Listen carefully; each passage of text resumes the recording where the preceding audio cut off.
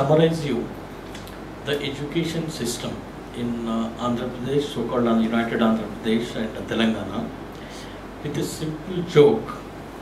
But it's not a joke, but it's a real uh, satire. You know. We have something called this EAMCET examination for undergrad recruitment in, for engineering and medical, etc. So as uh, Professor Kodandaram said, you know, we have lot of poultry farms in, in uh, AP where these engineer, uh, intermediate students are churned, churned out. Then three floors, down is the bar, next is the bar, next is the temple. temple. No playground, nothing, they are tortured. This, this is the pre-process. Yes, it is a Pre- process. because that's the requirement. So what happens if after the EAMCET in uh, June or May, the results are announced in June. As the Higher Education Council has nothing to do except only conducting the entrances. They have no other academic work, I'm unfortunate to say. They announce the results and uh, announce the first ranker, second ranker, third ranker. Uh, There are so many media organizations now, 40 channel, 50 newspapers and all. So they all rush to that first ranker's house. Look, buddy, so thank you, congratulations, and uh, what is your message to the, you know, next batch? That fellow doesn't open his mouth at all. They kept on asking for 10 minutes, they tried. Tell us something, some message, you know, you're a first ranker. Then all got the fed up and they called her, his mother. See, madam, look, this boy we have been asking for the last 10 minutes, 15 minutes, he is not his opening, is what is his problem? No, no, no, sir, that is not his problem. Whenever you ask a question, you have to give four options.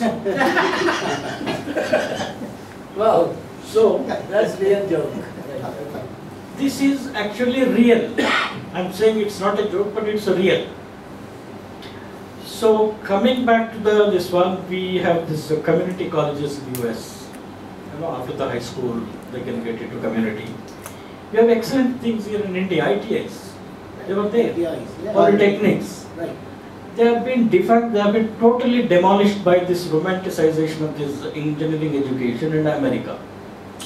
In this part of the world, there is nothing, if a child is born, is put in uh, some English school, then he goes to Ramaya, Ilaya, Malaya, Pulaya, Ch- Chaitanya, this coaching exams, right from fifth class, mind you. Then he gets into EAMCET, does his engineering, goes to America, gets married. 25 is life is over. That fellow doesn't know what is music, what is fiction, what is uh, theatre. I don't think Americans do that. I don't think Europeans do that. That's what I'm saying, this high school education is very comprehensive. Absolutely, it's so disgusting in this uh, this state of especially Andhra. Unlike you know Tamil Nadu and uh, Karnataka, they are much better. No, it's almost, I would say, criminal to It's deprive these kids of their childhood. Absolutely, absolutely. As per the UN Convention of Child Rights, as per the UN Convention of Child Rights, every aspect is a criminal activity, which is supported by the government. So, so the romanticization of America and uh, engineering education because the boom in software. That is one aspect. Second is, today we say there are so many engineering graduates which I circulated. This one. How many software companies today? In Hyderabad, software companies are plug in, plug out. If tomorrow Shanghai is cheaper or Taipei is cheaper, they plug out and go there. They don't have any love for Telangana state. Now they we are come to you know, love people. But unlike in Chennai, Tamil Nadu or uh, Gujarat, where equally they have brick and mortar companies. You take Tamil Nadu, all the automobile companies are in Chennai. Right. Over here, uh, they were, uh, you know, willfully neglected. No. Because sorry. software and uh, attendant real estate business. So where will these kids go? Except software, the unfortunately the mechanical fellow is going to software, the technology fellow is going to software, software fellow is into software. Biology. Where, where will they go? Even arts people go with six months of training to IT. No, That's fine, that's fair enough. That's fair enough. When there is a demand for a 2002K project, it's fine. But you know, this kind of lopsided policies of the government, government cannot shun its responsibility, especially on the education and health. They have to be kicked at the back if they are not performing. So, the whole mess here in the last 20 years created by, it is the main responsibility of the government. You know, they, they are just keeping, because the most of engineering colleges, which Professor said, are now owned by the politicians. Either MLA, MLA brother-in-law, MLA sister-in-law or somebody. You know. So it's, it's a very complex situation today. I don't know where to start and how to address this. Because in the United States of America, capitalism works perfectly. They know what is the, you know, meant by business, they do that. Survival of the fittest, all the you know, capitalistic uh, work there. But here it's uh, unfortunate, like we have uh, 273,000 uh, engineering student uh, seats available, but there are only 80,000 uh, students are writing exam. And now this year also, unfortunately, the Telangana government is conducting the test. It doesn't define all market principles. In any way, it's, it's absurd. So, so I think definitely we are also here, so civil society is trying to give a, some direction to the government. Whether they listen, they don't listen, of course, we have to make our pressure. But also, like other friends said, people like you from America, is always also, you know, Gora telling, they listen you. Uh, it's not that, you know, you, you don't have staff or something. But people like you who have passion for Telangana, like you, there are so many, you know, distinguished people in all uh, areas of uh, engineering or education, social sciences. Probably I request uh, you and uh, also talk to Sudeep that there should be a pressure group from your side also. Look, something is going wrong here. We want to help you. How we can help you? You know, we are actually you didn't ask our help, but I said we are feeling bad. We are feeling for our uh, you know uh, country back. So that's why you know we are passionately coming back and telling you, can I help you? How do I help you? So probably if you could, I mean, I'm you know busiest you know despite your busy schedule. Yeah, Give us that, time. is the plan. This is just uh, only Yeah. starting. No, I'm With all these, uh, whatever we have done, whether it's interviews or talking to press, Yeah, this is just to let them know, Yeah. if they at all read the paper, they know there is something happened. hmm, yeah, But the next step is actually find ways to connect that's right. to whether it's uh, Kadiam Srihari or even to Casey, Casey.